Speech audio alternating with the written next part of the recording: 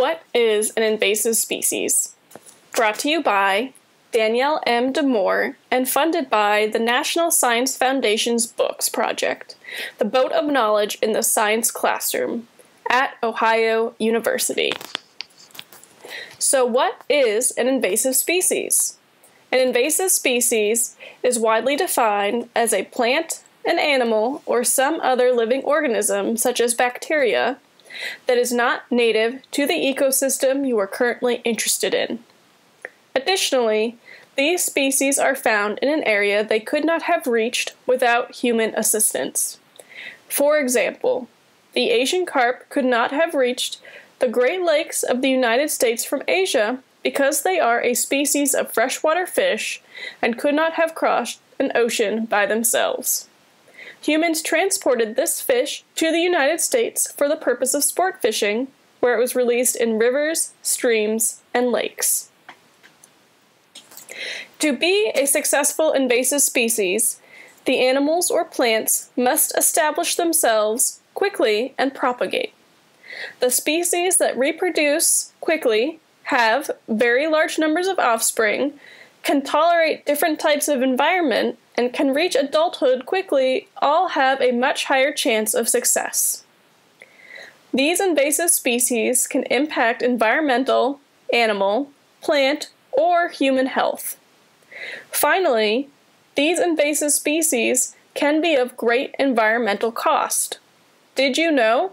Invasive species cost the United States alone an estimated $120 billion annually. So, what damage can an invasive species do? Perhaps most evident is that they may prey on a native or endangered species. In Hawaii, the green swordtail fish was introduced to the islands as a form of mosquito control. Instead of eating mosquito larvae, these fish eat gobies, Hawaiian's native, endangered, wall climbing fish. These gobies can only be found on the Hawaiian Islands, so if the green swordtail fish eat them all, they will be lost to the world forever. Invasive species can also outcompete native species for resources. By being more aggressive or less restrictive in their diet, invasive species can get more food, water, or other resources leaving native species malnourished or crowded out of their habitat. Perhaps a less obvious, but equally as dangerous threat is the foreign diseases or parasites invasive species can bring with them.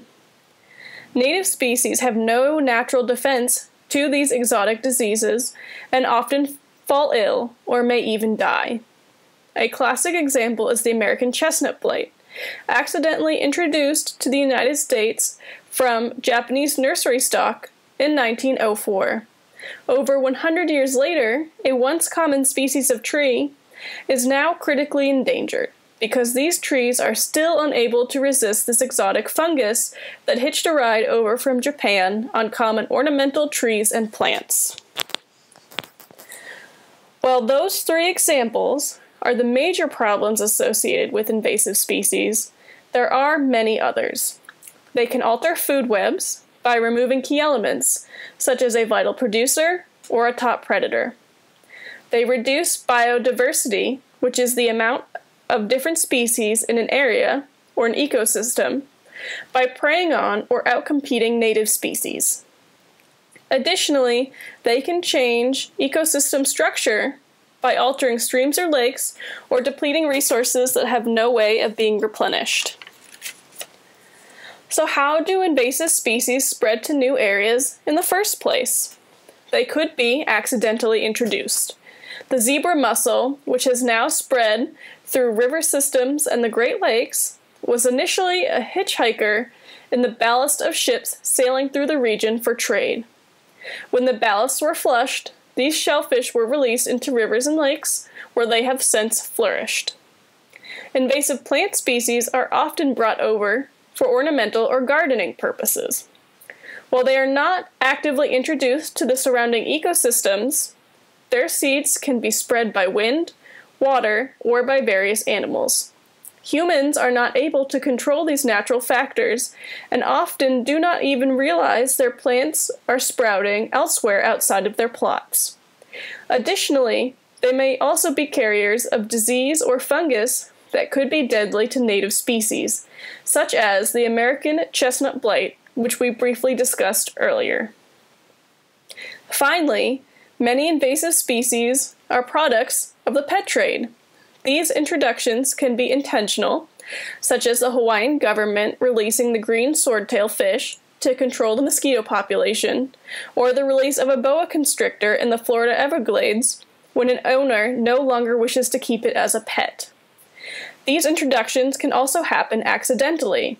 Off the coast of Florida, lionfish were accidentally introduced when a hurricane destroyed their exhibit at an aquarium and they were released them into the wild, where native fish were naive to this new predator and the population exploded. So, what invasive species might you find in Ohio? There are more than 700 invasive plant species alone in this state. This does not include invasive wildlife, aquatic life, or insects. Some of the no- most notable species include the feral pig, the Asian carp species, the zebra mussel, the rusty crayfish, and the Japanese honeysuckle, which is pictured here overgrowing many native species. So, what can you do? It isn't all doom and gloom, and there is a role you can play, even on an individual level. Learn how to identify invasive species most common in your local area. If you spot them, report them to your county or land management manager. Many local and state parks host eradication days where you can volunteer to help remove invasive plants while replacing them with native ones. Additionally, when landscaping at home, decorate with native plants instead of exotic ones. As mentioned earlier, it is very difficult to control the propagation of foreign plants once they arrive. If you do decide to purchase exotic pets, make sure you do so legally. If at any point you no longer want the animal, go through the proper channels to rehome or return it, instead of releasing it into the local environment. Here is a map detailing the spread of three types of Asian carp once they were released for sport fishing. They have spread through the Mississippi River Basin and are now being found in Ohio and the Great Lakes. So, why is this a problem? As aggressive feeders, these fish are eliminating many of Ohio's native fish, which are considered a much more desirable fish to eat. Want to know more?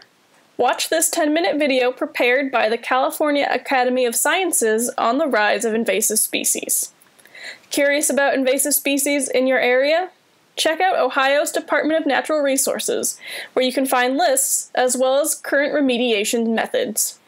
Thank you for your time and attention.